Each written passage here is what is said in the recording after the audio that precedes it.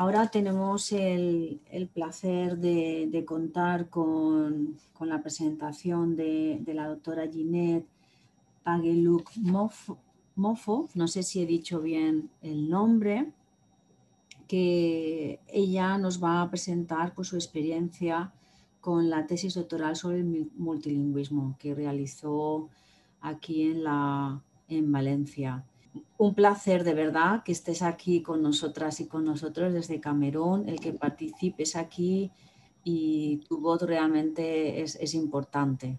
Pues sin más, eh, te doy paso.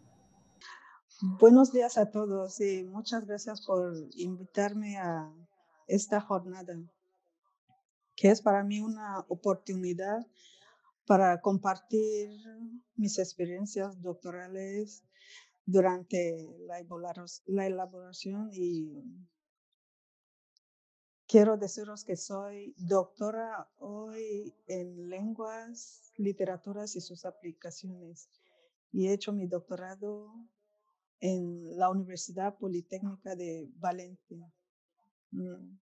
El título que quiero presentaros hoy sobre mis experiencias es experiencia para hacer la tesis doctoral sobre el multilingüismo. Mm.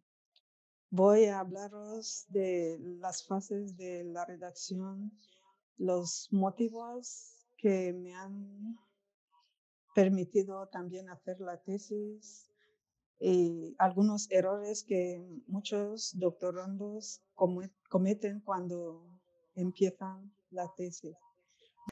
En las fases de redacción quiero deciros que vengo de un país altamente multilingüe y que se llama Camerún.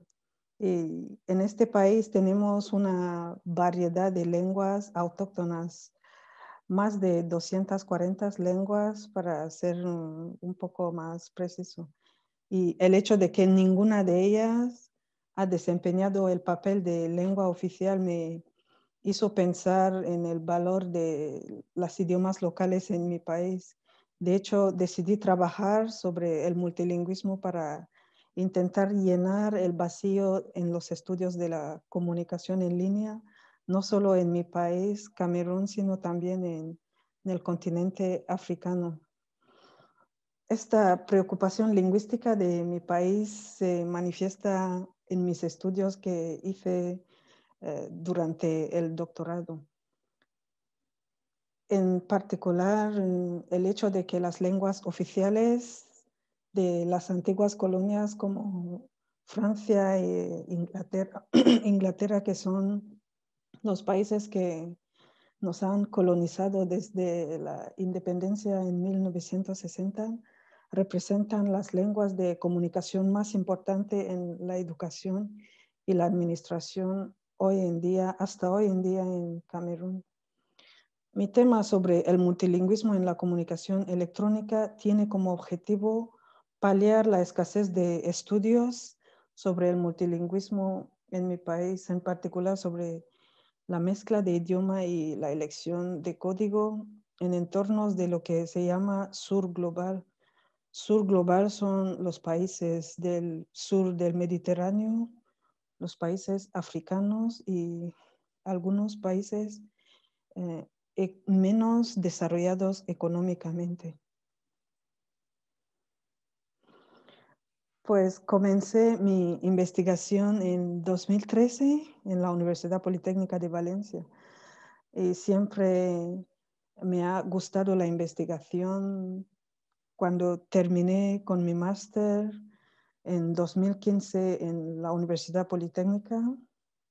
Comencé mi tesis ese mismo año. Completar esta tesis no fue tan fácil como yo me lo esperaba, ya que no contaba yo con los medios económicos para sostenerme durante este proceso. Me inscribí para mi doctorado sin beca y ni tampoco pude enseñar porque no tenía un contrato a tiempo parcial para enseñar como asistente doctor en la universidad. Así que os hablaré un poco de los motivos que permiten a muchos eh, empezar la tesis y estos motivos también me han ayudado en el proceso de elaboración y del inicio de la tesis. Estos motivos son el deseo, por ejemplo, de ampliar tus conocimientos, tener la pasión para eh, descubrir algo nuevo en, en el campo donde esté trabajando, desarrollar y compartir tus destrezas con los demás, aprender a hacer más eh, sacrificios para ganar algo más importante o más tarde en, el futuro y ampliar los conocimientos en el mercado laboral mediante lecturas de documentos en tu campo de estudio. Además, en, en estos motivos también, estos motivos podemos también ver que nos permite marcar la diferencia y descubrir nuevas competencias. Para hacer la tesis tenemos la intención también de ser más académico y disfrutar del trabajo en el entorno profesional. Hay que trabajar en algo que te guste cuando quieres empezar la tesis y tener el deseo de superar varios desafíos. Hay que pensar en lo que harás en el futuro cuando empieza la tesis y el impacto de tu trabajo sobre la audiencia que necesitará tu servicio o los lectores o alumnos. Pues presentaré aquí algunos eh, errores que muchos eh, doctorandos cometen cuando quieren empezar la tesis y que a veces nos impide también avanzar en, el proceso de redacción de la tesis. Es sobre todo el sueño de ser llamado doctor, porque muchos cuando quieren hacer la tesis no piensan en, en lo difícil o la dificultad que hay detrás de este trabajo de investigación. Pues el sueño de ser llamado doctor es un error grave y también el hecho de que quieres cumplir el sueño de los amigos o de la familia es también un objetivo que te impide avanzar. El doctorado no es un medio más rápido para buscar dinero ni ser rico de prisa. Otros errores que no hay que cometer es hacer la tesis porque no se tiene nada.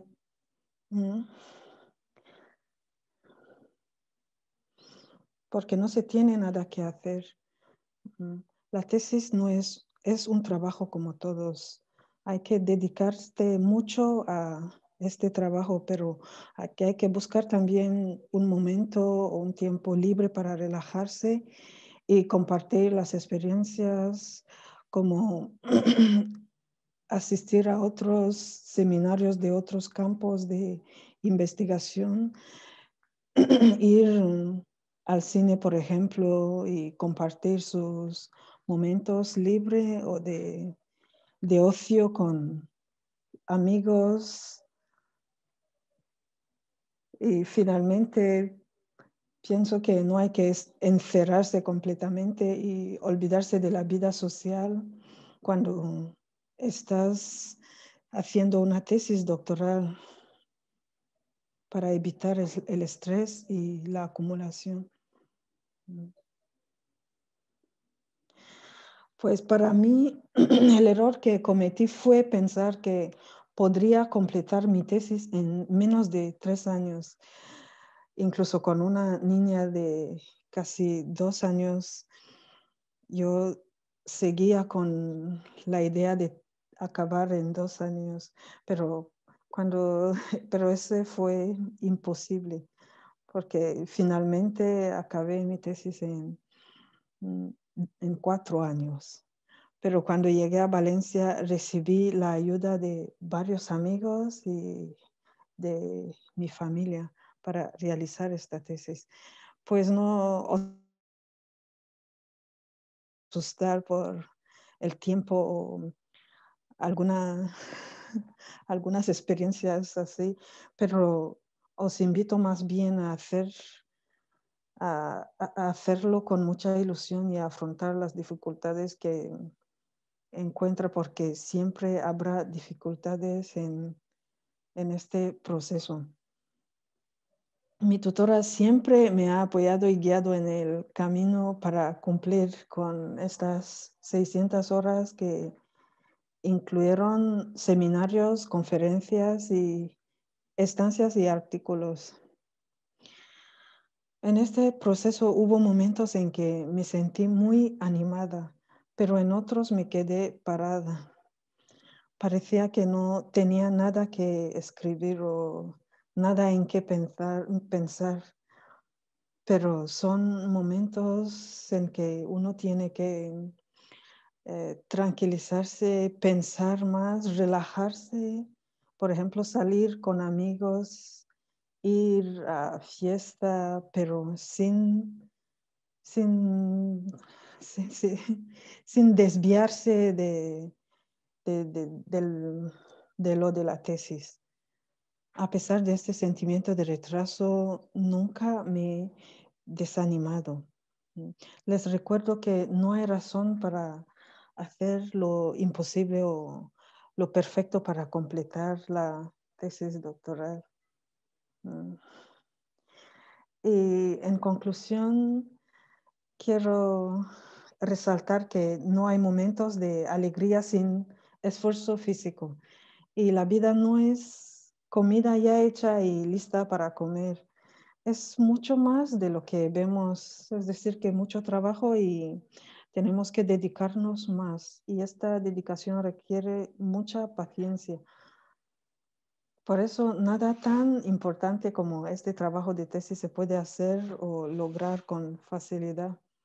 Parece fácil cuando se cuenta sin esfuerzo, pero se dedica mucho tiempo para llegar a ese nivel en el que cada doctor puede administrar su propia información con facilidad y convicción. Eh, finalmente, la tesis es un camino muy largo.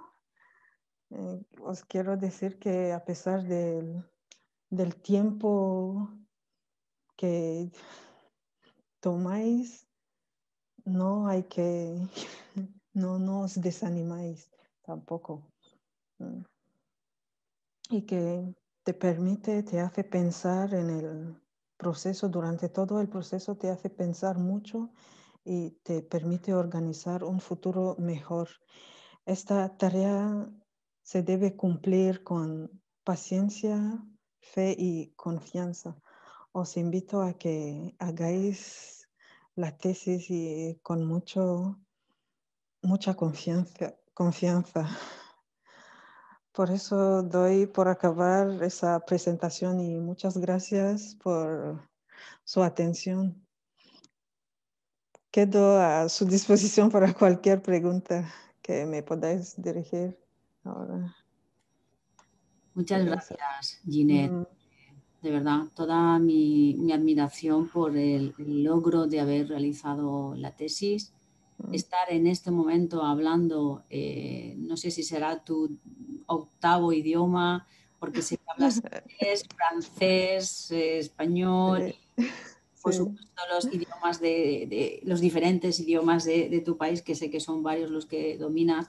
Gracias por, por haber hecho este esfuerzo. ¿eh?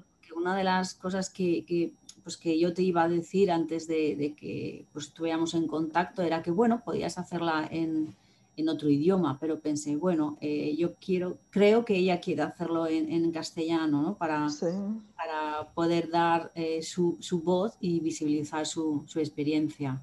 No veo de momento, si no me equivoco, manos alzadas de, para una pregunta, pero bueno, yo sí me gustaría preguntarte pues bueno, en el proceso que, de realización de la tesis y el estar aquí en Valencia con, una, con una, niña tan, tan, pequeña y poder realizar tu tesis, es decir, el esfuerzo que tú tuviste que hacer pues era eh, descomunal, porque si no es tu país, estás en otro lugar, eh, si ya hablabas así de bien nuestro idioma, no, lo desconozco, eh, pero creo que las dificultades, pues si en general una tesis es difícil ¿eh? de, realizar, de término, en tu caso, pues eh, es, admirable lo que has hecho. Y por ello, por ello, también, aparte de tu experiencia, me gustaría que al menos pues explicaras en qué consistió tu tesis, porque ya que mm. estamos dando la voz y la a, a personas que, pues bueno, proceden de otros lugares, ¿qué, mejor momento que este para que, pues bueno, que de una, una forma pues sencilla eh, nos expliques pues, el tema de tu tesis y alguna de las conclusiones a las que llegaste. Que sé que es un tema diferente al que estamos aquí trabajando, pero quiero darte, quiero darte ese momento y esa voz, porque para esto es esta, esta sesión también. Entonces, y lo puedes hacer en castellano, lo puedes hacer en inglés o en francés. Bueno, en francés no, porque no todo el mundo domina tanto el francés, pero, pero bueno, si en algún momento tú quieres utilizar ambos idiomas, eh, no, no hay problema. En mi, mi, tesis sobre el multilingüismo consistía en paliar la escasez de lenguas mm, o reducir eh, los, la escasez de los estudios sobre eh, lenguas. Por ejemplo, hemos trabajado sobre el cambio de código y la elección de lenguas. Queremos em, hacer más estudios sobre en este campo porque en Camerún como en África en general no hay muchos Em, em, muchos em, investigadores que han trabajado en este campo de lengua y por, para ver, para mí el problema lingüística es, muy, es un problema muy importante en África porque en África en general tenemos muchísimos, eh, muchísimas lenguas, sobre todo lenguas locales que eh, nadie estudia ni eh, se preocupa de estudiar mucho. Así que el estudio que he hecho era para paliar o reducir la escasez eh, de los estudios sobre estas lenguas en África, sobre todo en el entorno sur, como he dicho, en países africanos y en zonas eh, menos desarrolladas económicamente, para que esto pueda ayudar a, que otros investigadores puedan interesarte al, problema de lengua en África y, en, mi país en particular, porque durante la, la investigación nos hemos dado cuenta de que no teníamos eh, muchos investigadores, casi no había investigadores en lenguas en mi país, pero en otros países muy pocos, africanos, muy pocos.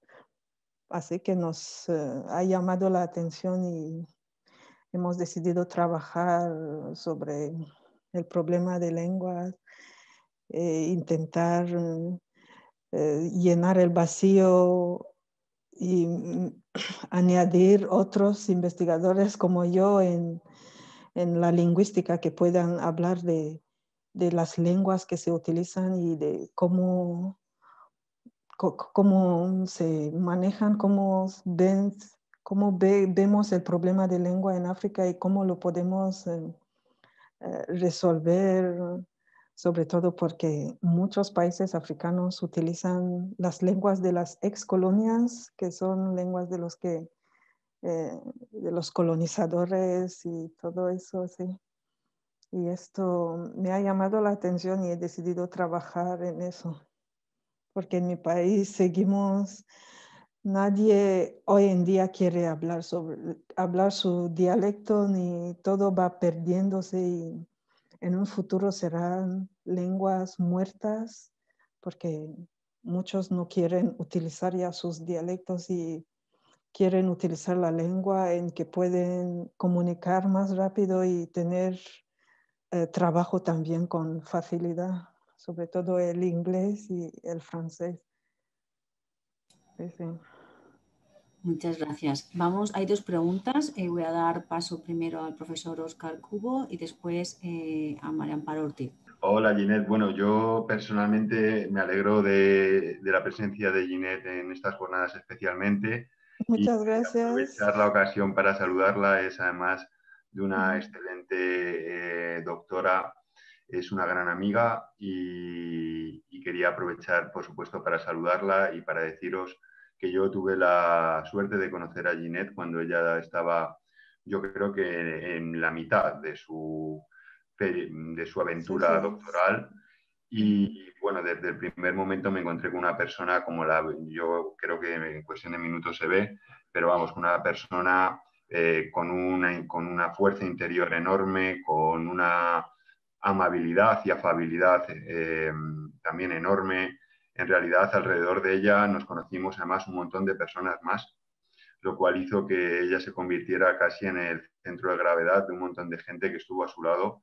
Su, eh, directora de la tesis doctoral eh, también tuve la ocasión de conocerle y, tengo que decir que tuvo la suerte en la Universidad de Valencia de encontrar a una persona que la dirigió mucho más de lo que es simplemente una obligación académica, así que ese es un punto de esa persona en particular y es un punto que se lleva a la Universidad de Valencia también con esa actitud tan abierta y tan especial que tuviste con, con tu directora de tesis. Y bueno, en definitiva, deciros que la aventura que hizo Ginette es mucho más de lo que se puede contar en 10 minutos y que sin lugar a dudas ha sido un caso magnífico de plurilingüismo. Es una persona que domina, como ha dicho Carmen, un montón de idiomas, pero ya no solamente es que a nivel personal ella domine un gran cantidad de idiomas, sino que ya la propia investigación era plurilingüe, es decir, eh, no solamente en la redacción de la tesis doctoral, que fue en castellano, sino que también los estudios que ella llevó a cabo eran de las lenguas eh, originales de Camerún, unidas con el francés, con el inglés. Eh, la bibliografía secundaria que manejó en la tesis doctoral era absolutamente plurilingüe.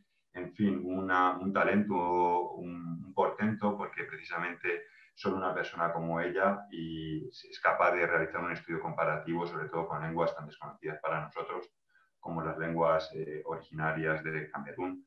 Así que, bueno, en realidad no era una pregunta en particular, sino que era un ampliar más el horizonte de, la persona que nos acompaña hoy y, mandarle mis más eh, cordiales y sinceros saludos aquí desde Valencia.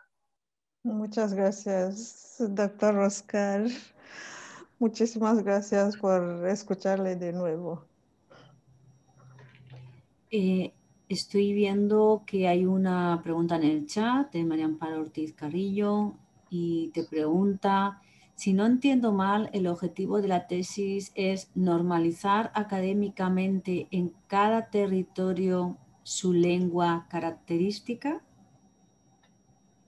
Preguntan, para que quede claro, es decir, saber cuál era el objetivo de, de tu tesis un poco más concreto paliar la escasez de los estudios sobre el cambio de código y la elección de lenguas en entornos de lo que se llama sur global.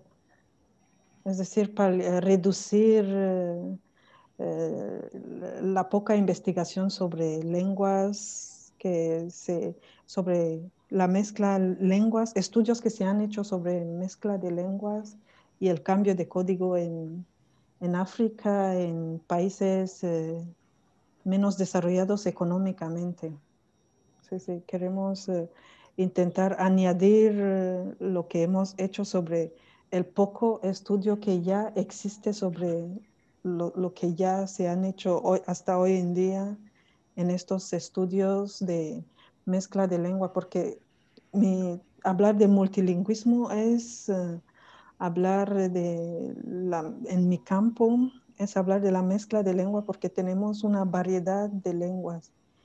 Y en este proceso de elaboración de la tesis nos hemos dado cuenta de que muchos cameruneses eh, mezclan lenguas en la comunicación. Utilizan por lo menos tres, tres o dos lenguas diariamente y por eso hemos decidido hacer investigación sobre esta mezcla de lengua o elección de lengua que eh, los cameruneses hacen diariamente para poder eh, aumentarlo sobre otros estudios de, del cambio de código, como lo llamamos eh, científicamente. Mm. pues Ginette me parece muy interesante y creo que, que, algo que, no sé, que yo me comprometo a hacer es pues dar visibilidad a, a, ese estudio que tú has hecho no sé si está escrito en inglés, en francés o castellano. En español, en castellano. Sí, sí, sí, sí. Pues Creo que sería una oportunidad magnífica que, pudieras compartir. No sé si hay algún artículo derivado de, tu estudio. Sí, hay varios artículos.